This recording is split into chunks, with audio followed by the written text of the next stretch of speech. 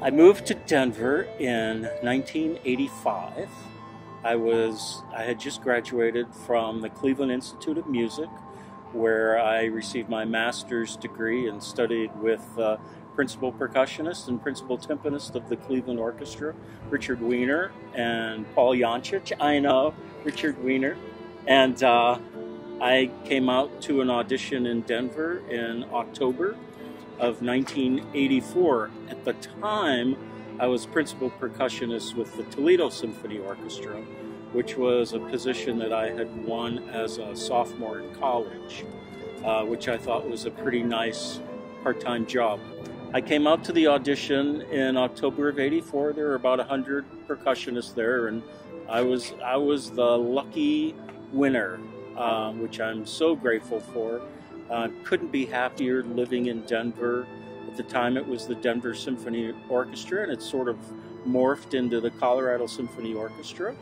And there are still quite a few colleagues there from when I started, but it's mostly a bunch of new, young, fresh faces that are a great addition to the orchestra. Um, one of my colleagues in the Colorado Symphony, Ted Small, who passed a few years ago. When I got in the orchestra, he was the percussion faculty at the University of Denver, Lamont School of Music, and he was sort of going through some changes and was giving up his position. So I asked him if he would mind if I applied for it, and of course he said he'd be happy if I was able to get that job. So I've been at Lamont since uh, 1998.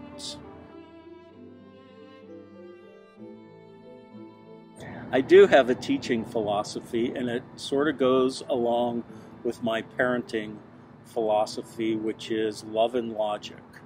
The way I approach my students is that if you're going to be a musician, you have to be incredibly passionate about what you want to do. And if you don't have that innate passion, it doesn't really matter how talented you are. You're not going to make a living in music. So it's nice to have kids that are talented and, and that are also smart which is what University of Denver actually attracts. But if you don't have that passion, it's not something that I can make you do. So, with love and logic as a parent, you teach your kids to make good choices, and if they make bad choices, then there's a consequence. So, with my students at Lamont, if my student comes in and hasn't prepared for their lesson, it's really no skin off my back. I still I still get paid the same. I still have the same passion. So basically, I, I want the environment to be positive and encouraging and hard in a way to have students understand that you have to work really hard to be able to make a living in music. And what we've established in the Lamont Percussion Studio really is a culture of excellence where everybody works hard, everybody gets along, and it's competitive, but it's a very positive, competitive atmosphere. It's not cutthroat where I'm going to do better than you, but it's like, hey, I'm better than you, but come on, step it up. Well, this coming year, I'm going to have uh, five undergraduates and four graduates. I have a GTA, a graduate te- teaching assistant, who's doing a double major in percussion and musicology. I also have an artist diploma student who's considered uh, a graduate student. And I usually like to have a pretty good balance. I would prefer to have six undergraduates and four graduates, but I'm one short on undergraduates this year.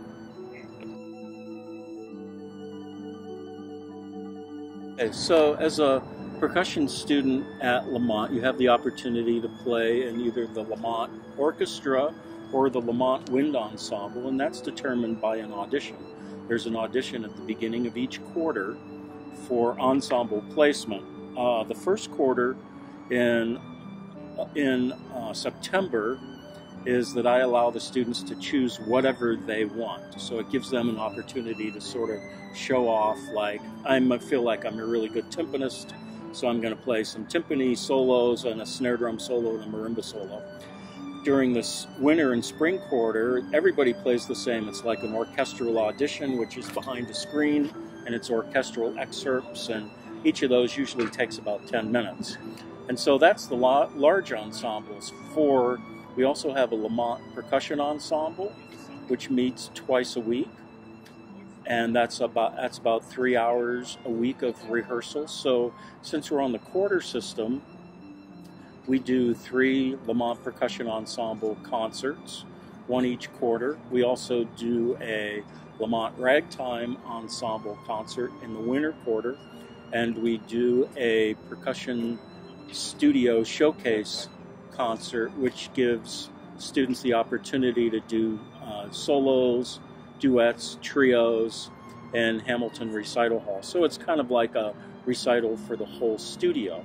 Now, during percussion ensemble, we also have performance class, usually three times a quarter, where the students get to play for each other. And it doesn't mean that you have to prepare an entire Bach sonata to play. It's just get up and perform for your colleagues at wherever you're at. Like you only know half of the chaconne, great, get up and play the chaconne because that's really the hardest performance you're going to have is to play for your colleagues who can tell what you're doing. And that's really a great opportunity to get feedback from your colleagues and also for you to give your feedback to each other. And I really encourage my students to play for each other all the time, record yourselves all the time, because that's really the way you're going to improve the most.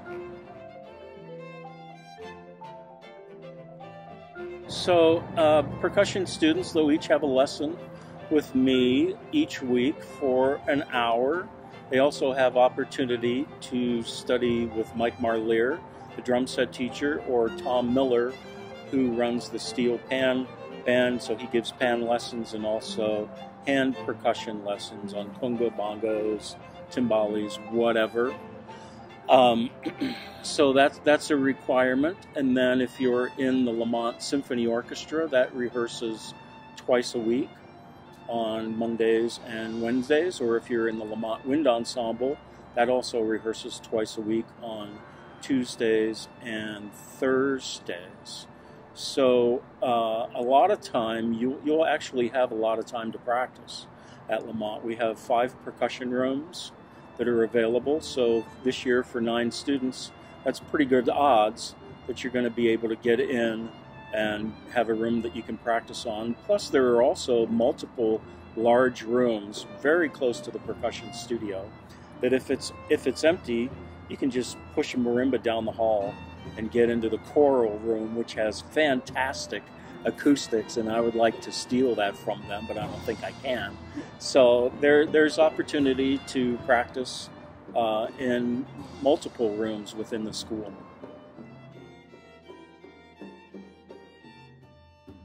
Well, Lamont Percussion Studio is, uh, i think I can say, probably one of the strongest studios in the school. My students do really well nationally. Uh, they've won the chamber music competition at PASIC.